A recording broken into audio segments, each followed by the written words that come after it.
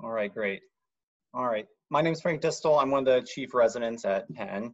Uh, also on the line with us is Mitra McClarney, one of the other chief residents, and uh, Dr. Lenrow, our program director. Um, so we want to thank uh, PM&R Scholars for this opportunity, and Mitra is going to pull up our slides.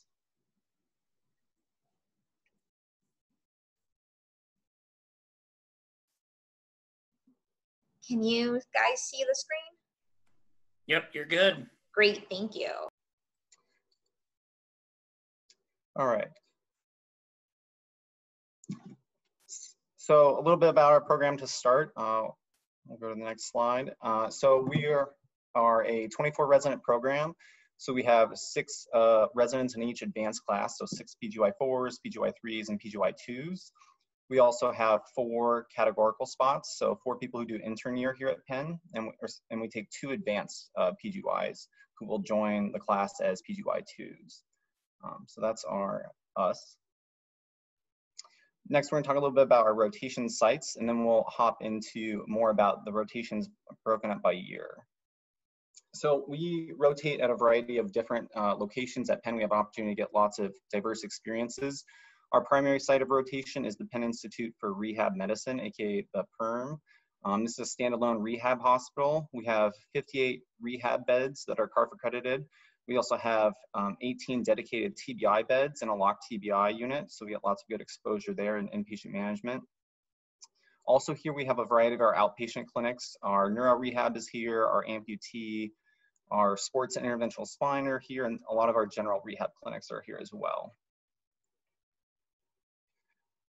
As interns, we spent some time at the Philadelphia VA on our general surgery rotation. Uh, we also spend time as PGY2s on the inpatient rehab unit at the VA, which is a unique population to take care of.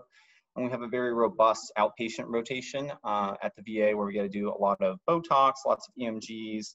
Um, we have an attending who is a DO chiropractor who does lots of manipulations and gets you involved with dry needling. Um, so very robust experience. Um, and polytrauma too is another big area. We also get the opportunity to rotate at Pennsylvania Hospital, which is actually the nation's oldest hospital, which is uh, really cool because it's literally a beautiful place. Uh, we get to spend time here as PGY1s, rotating on internal medicine and in the ICU. And then as PGY2s, we spend time here doing consults. And as twos, threes, and fours, we also do some outpatient general PM&R clinic here. The next site is the Children's Hospital of Philadelphia, or CHOP, which is one of consistently ranked one of the top uh, pediatric hospitals in the nation. Specifically, we rotate in the Seashore House, which is in the inpatient rehab unit. We spend a month doing inpatient pediatric PM&R as the primary team. And we also spend a month doing outpatient pediatric clinic where we see lots of um, spasticity management, uh, lots of P&O and uh, orthotics, um, and we also see multidisciplinary clinics. So we rotate in the CP clinic, they have a muscular dystrophy clinic, and lots of unique things that you read about in the textbooks. So it's a pretty unique experience. Uh, the next site we rotate as is the Penn Presbyterian Medical Center, which is uh, Penn's main level one trauma and the main trauma center in West Philadelphia. As PGY1s, we do family medicine here and neurology. And then as PGY3s, we rotate here on a consult service. And on this service, understandably, we see most of our trauma. So we see our TBIs, our traumatic spinal cords, and we see lots of amputees here. And this is a great rotation. We do a lot of recommendations that you know aren't just disposition for rehab. It's a lot of management, agitation management, um, getting involved early with SCI management, bowel and bladder, things like that. So it's pretty great rotation. Uh, the next site is the main hospital of the University of Pennsylvania. Uh, which is also consistently ranked one of the top hospitals um, in the nation. This is the major tertiary hospital referral center for the Mid-Atlantic region. We spend time here as PGY1s on a neurosurgery rotation. And as PGY3s, we do consults here. And this is where we see our medically complex. Um, so at Penn, they take uh, very complex people. We see lots of unique things. Um, we see lots of transplants, uh, LVADs. Um, we have lots of exposure to cancer and think about cancer rehab here, as well as non-traumatic uh, spinal cord injuries. The next site uh, that we also rotate is the Good Shepherd Rehab Penn Partners in Allentown, which is about an hour outside of Philadelphia. We rotate here as PGY3s and PGY4s. Um, during this time frame, we have housing, uh, both the PGY3 and the PGY4 have their own dedicated house, and we get free meals, which is pretty great. Uh, as PGY3s, we do inpatient rehab, and we get a high volume of uh, spinal cord injury here. It's a different patient population. It's much more uh, of a rural population, so we see farm injuries, um, lots of falls, and they also take vented uh, spinal cords here, so we get good exposure there. And as outpatients, or excuse me, as at PGY4s, we do outpatient and we get a pretty robust general PM&R uh, exposure. We get lots of baclofen management, uh, Botox. Uh, there's also a pretty robust P&O clinic with Dr. Daly. Um, and then in addition to the other sites we mentioned, these are some of our outpatient sites. So the Perelman Center for Advanced Medicine is one of Penn's major uh, outpatient centers. We do cancer rehab clinic here. Uh, one of our TBI attendings recently started uh, rotating in a multidisciplinary pulmonology clinic where we see uh, people, adults with muscular dystrophies and make rehab recs. Um, the top right here is uh, Penfield and Weightman Hall where we do our sports rotations and we see collegiate level athletes uh, in, sports clinic. And then 3737 is another uh, large building attached to an ortho office where we do lots of our general rehab, lots of EMGs for ortho. And now to break up our rotations uh, by PG one year or PG year. So as PGY ones, we have a pretty diverse and robust experience. Um, you can kind of read here, but it's a month-to-month -month rotation. So you do time in general surgery, neurosurgery, family medicine, three months of IM, a month of ICU, one month of neuro, one month of peds, one month of PM&R, and two months of one month dedicated elective. So two different elective blocks. So it's pretty diverse. Uh, PGY one year gets you lots of early exposure to the patients we care for as PM&R residents. So it's a really uh, unique experience. Um, it's also great because you're when you do your PGY one here, you're here, you're still very much part of our program. So every month we have a meeting with uh, Dr. Lenrow, our program director, the two chief residents, and all the interns come. It's protected time. They have lunch with us, and we just check in and chat and see how they're doing. So very much still part of our program. As PGY2s, uh, we rotate at uh, the Children's Hospital of uh, Pennsylvania, and we do PEDS. We do a month of inpatient rehab and a month of dedicated outpatient pediatric rehab. We do inpatient rehab uh, on the medically complex and MSK service. So we see this is where we take care of our VADs, our transplants, our polytraumas. Uh, we do two months of stroke and amputee inpatient rehab with our program director, Dr. Lenrow.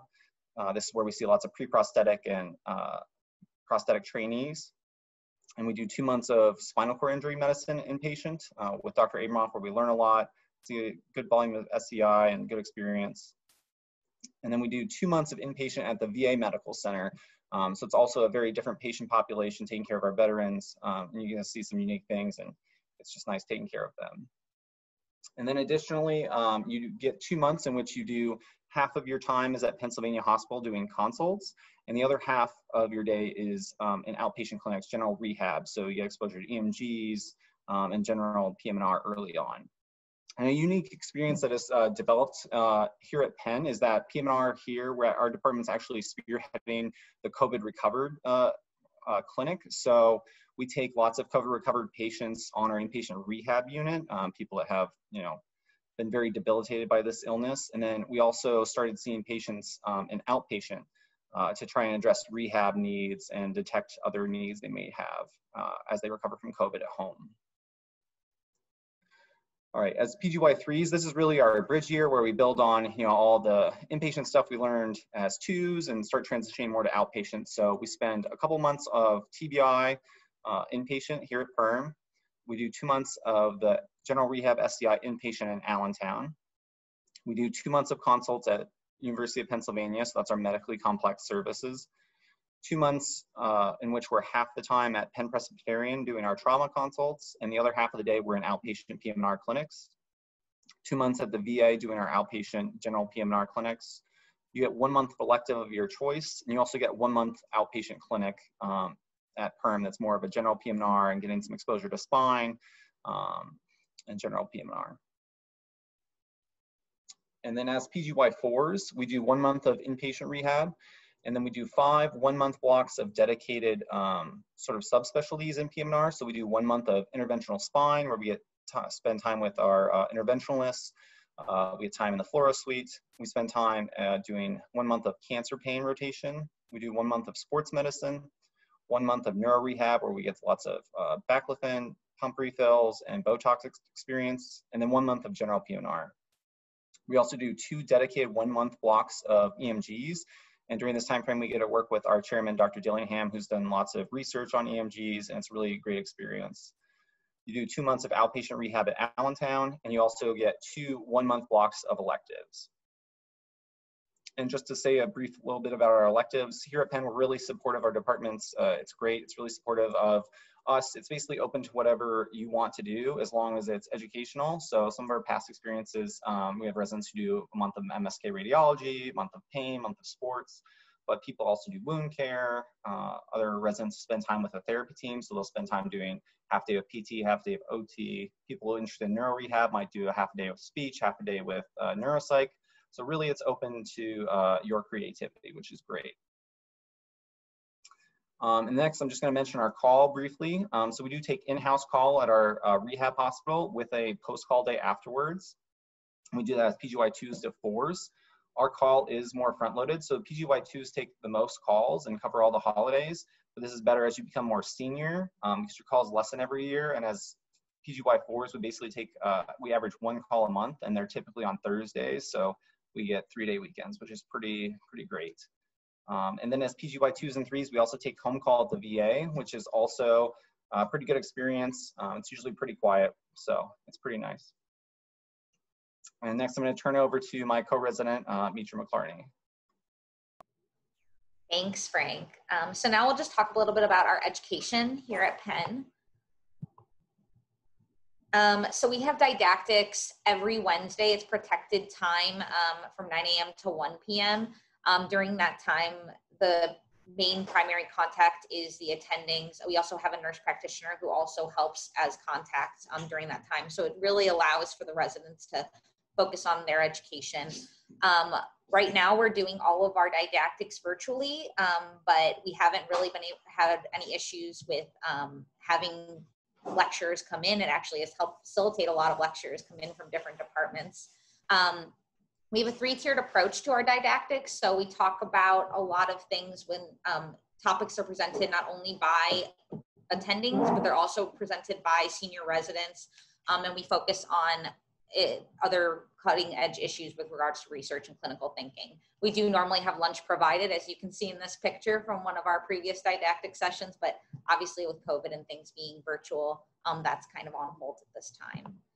So this is a schedule of um, just what our past month looks like uh, for our musculoskeletal medicine module. It might be a little small on your screen, but um, it just kind of shows the uh, diversity in lectures that we have um, and the diversity in speakers that come in. We also have therapists come speak to us as well um, and really just try to get a whole well-rounded uh, view of PM&R and um, of everything.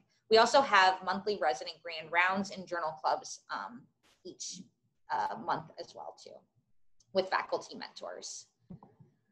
Uh, evening events that we hold. So we actually have an ultrasound course that we've started monthly um, that's uh, headed right now by Dr. Golnikov, one of our sports and spine attendings. Um, and we meet from six to seven and we just um, practice ultrasounding. We have uh, lecture, lecture material and reading material prior to the course.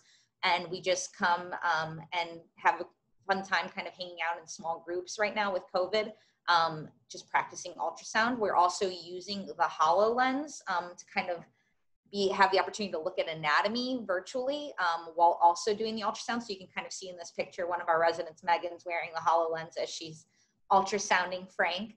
Um, and then usually we have the cadaver dissection anatomy um, part of our curriculum, and that usually runs from June to July. But with COVID, we weren't able to do that this year. Um, but that's usually something that we do do as a program. And then we have EMG nights, where which is also a practice night um, at night where we all kind of meet and work on uh, EMGs on each other.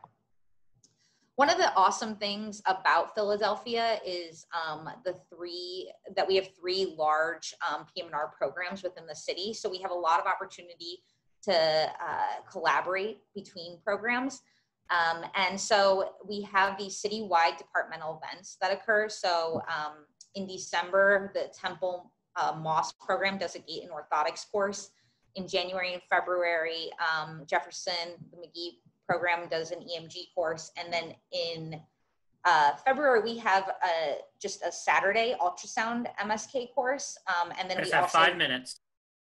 thank you. Um, we also have a prosthetics course um, that we do. So it's, we have um, participation from all the programs at all these events. And it's a really nice, um, unique feature of being in Philadelphia and being such, uh, su- at a place that's such a big PM&R um, city. So just in terms of education funds, we have a yearly education stipend. Um, our board review course, uh, we have fully funded five-day course. Um, and then we also have funding that we get for presenting research at national conferences and annual enrollment um, in AAP and AAPM&R Academy is paid for as well through our department. One of the awesome things too about Penn um, that I really thought was amazing when I was applying um, is that we have a lot of interdepartmental opportunities with other residents from other programs. So one of the tracks um, actually that's listed on the top is this healthcare leadership and quality track, which is a program that is really unique to Penn.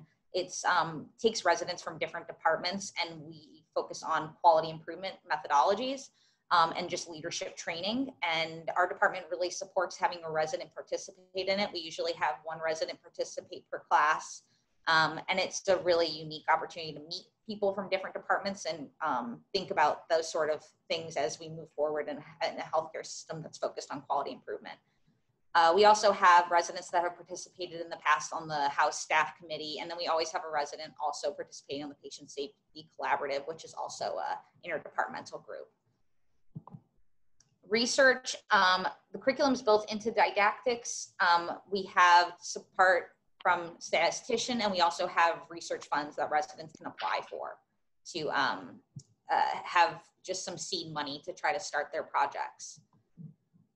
One of the other awesome things about Penn is the sports coverage that we have. So we have a lot of faculty um, that uh, are medical directors for different sports teams um, and sport sporting events. So these are just some of the things that we've um, covered before in the past. And then just briefly, um, so just Philly is awesome. There's a lot of um, a lot of history and a lot of beautiful architecture in the city. And of course, there's cheesesteaks, which everyone can only think of when they come to Philly. Um, and then we have awesome sporting teams as well too. Um, and then just social events. We're a pretty social group of people. We really like to hang out with each other. These are pictures just from the past year of going to sporting events, um, as well as just kind of hanging out, axe throwing, and just hanging out in the backyard. Um, but things that we used to, we like to do with each other. And then we have a PM&R softball team. We weren't able to play, unfortunately, this year, um, but it's a great way for everyone to bond. And we play at the Penn Fields, which is awesome. And then just briefly, um, where our residents go. So these are for the last couple years. Um, you can kind of see we pretty much have an even amount of residents that go into general practice um, and fellowship. And we already have have two minutes. Thank you. And we already have one of our uh, one of our co-residents from our year just matched sports and spine here at Penn, so we'll be staying on. Um, but we tend to have uh, residents going to almost every sort of uh, fellowship. And that also just leads me into all the fellowship opportunities that are here at Penn. Um, so we have all of the ones listed. We just started a cancer rehab fellowship this year with our first fellow, and then we're gonna um, through our collaboration with at CHOP, um, where we rotate, they are starting a PEDS rehab fellowship for next year. Um, and then we have traumatic brain injury and sports medicine. So I'm going to thank you so much, PM&R scholars, and hopefully we can address a couple questions before it's too late.